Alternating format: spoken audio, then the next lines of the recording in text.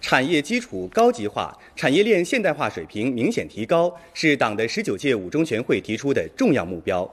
作为产业链的中游环节，钢铁企业研发水平、产品品质的提升，不仅能倒逼上游行业技术革新，更会推动下游行业的发展。本钢集团聚焦高端制造，积极推进钢铁主导产品向高附加值供给端迈进，抢占行业制高点。在本钢板材技术研究院汽车板所，研究员杨波正在对今年刚研发的 CP 九八零冷轧产品进行产品组织和夹杂物的分析。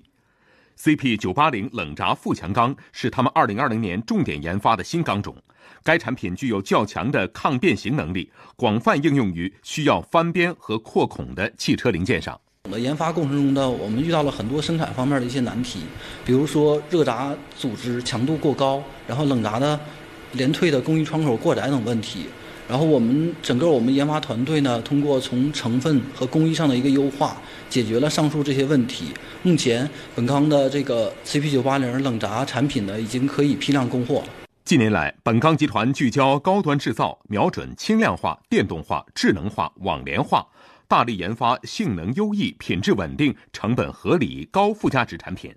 成功研发出的 E 四三四零、四七幺五等石油钻采用钢系列产品，特种车辆发动机用齿轮钢和防弹钢等新产品均居国内领先水平。技术研究院呢，重新整理和规划了我们产品的研发流程，并且把产品分类分成替代型。升级型以及储备型产品，不同的产品呢，我们都分别开发和制定了不同的研究方案，严格按照新的规定进行规范性产品研发以后呢，整体上我们的研发速度得到了一个显著的提升和保证。本钢集团每年对研究院的硬件投入始终保持在一千五百万元以上，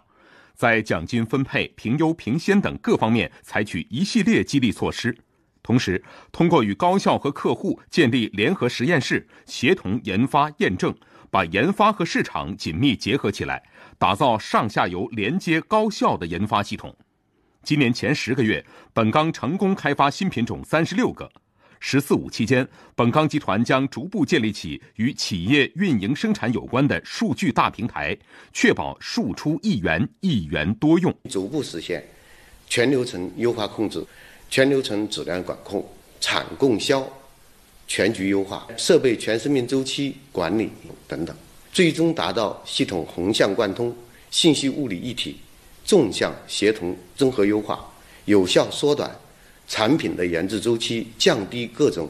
资源和能源消耗，降低运营成本，